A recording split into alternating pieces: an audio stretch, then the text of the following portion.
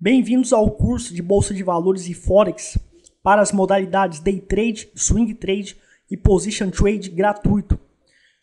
Você vai acompanhar todos os dias as operações reais de Day Trade ao vivo, comprovando as ordens das operações gravado antes e depois. Pela primeira vez no Brasil, uma escola comprova seu método com as operações reais. Nenhuma escola no Brasil faz isso. E você acompanhará também a análise e probabilidade dos ativos para longo prazo. Acesse www.traderprofissional.com.br. Antes de você fazer a compra de nosso curso ou não, você faz nosso curso de teste grátis. Estratégias ao vivo de day trade com ordens comprovadas e a análise ao vivo de longo prazo para os principais ativos do Ibovespa. É a única escola do Brasil que prova todas as operações de day trade com capital real ao vivo antes e depois das decisões. Logo, o nosso método é comprovado. Você pode aprender grátis antes de comprar nosso curso ou não. Eu me chamo Leandro Santos, sou day trader, trader profissional, position trader há mais de 7 anos no mercado. Sou programador desenvolvedor web, sou desenvolvedor deste site também e sou expert em PNL, tenho muitos anos na área para resolução de problemas emocionais e psicológicos, principalmente para o mercado financeiro. Pessoal, então agora, hoje, dia 7 de 7 de 2014, 4 horas da tarde, Bom, o desenvolvimento do mini índice aqui, ele se encontra atualmente em tendência de alta. Porém, no horário, que é o horário de maior liquidez para iniciar as negociações, as operações, é, foi 10 e 20 que, que deu um sinal de venda. Então, o preço ele vinha fazendo topos e fundos ascendentes, estava uma tendência de alta e ficou abaixo da price trend line, que é essa linha azul aqui, que indicou a reversão da tendência. Então, iniciaria então uma tendência de baixa, podendo fazer grandes movimentos de queda, topos e fundos descendentes prováveis que poderia acontecer, e houve realmente um grande movimento de queda. O sinal de venda foi nesse padrão de candlestick que nós temos aqui, dois inclusive, tá?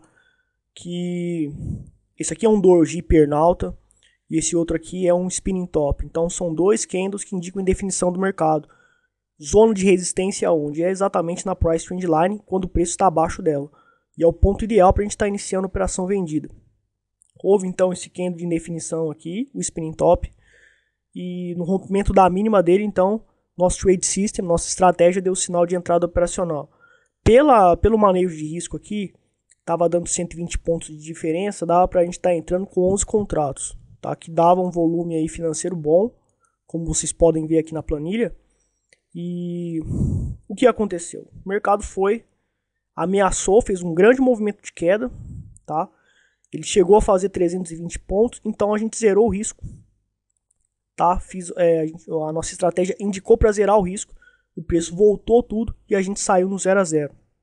Era para a gente tomar um stop de 0,3% e a gente ficou no 0 a 0 e é, logo depois aqui deu um outro sinal de venda, mas aqui já era uma da tarde, já não é o horário que a gente pode iniciar operações, tá? Onde esse sinal de venda, quando aconteceu, a gente ainda estaria nesta operação aqui. Então, de qualquer maneira, foi uma única operação por dia. Finalizamos no 0 a 0, tá? É, vou colocar aqui 54175. Então a gente saiu no 0 a 0. Lembrando, pessoal, que eu saí do Brasil, vim para a Argentina e não estou operando porque estou sem telefone, estou sem um monte de recursos aqui. Não tem como estar tá fazendo as operações na Bolsa do Brasil. Então, por enquanto, eu estou fazendo a simulação do que a estratégia está dando aqui de lucro para a gente. E por enquanto a gente está aí no 0 a 0 mais ou menos. Algumas operações lucrativas, outras negativas.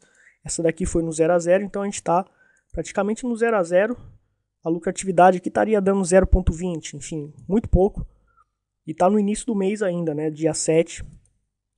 Agora, a situação do mini índice tá para gráficos maiores, a gente analisa aqui no gráfico de 60 minutos, ele se encontra em tendência de alta, ele ameaçou reverter a tendência e já voltou, a gente percebe o preço acima da price trend line aqui, então já está em tendência de alta.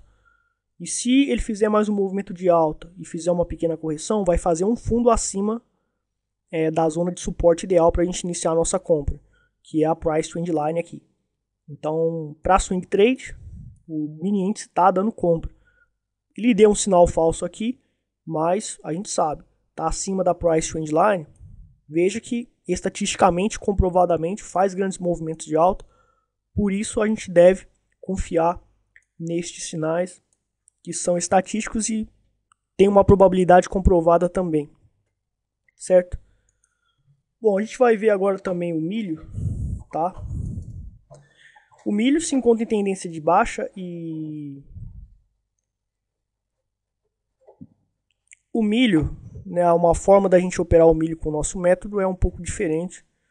a gente também pode utilizar duas médias móveis apenas, porque o milho faz grandes tendências de baixa ou de alta. E no momento se encontra em tendência de baixa. Hoje, é, nessa semana aqui, chegou a dar um sinal de venda, já fez novo fundo e tende a continuar a fazer topos de fundos descendentes. No gráfico diário também se encontra em tendência de baixa. Vejo que está abaixo dessa price trend line, que é essa linha azul.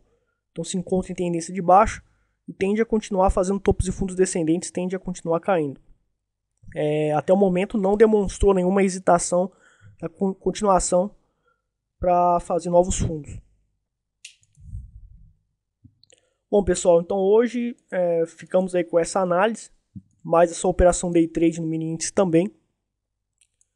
E vamos continuar até eu me restabelecer com todos os recursos necessários para eu iniciar as operações, reiniciar as operações de novo. Então vou estar tá fazendo as operações reais no mini índice e comprovando os lucros, comprovando também que a metodologia funciona. Muito obrigado, até mais.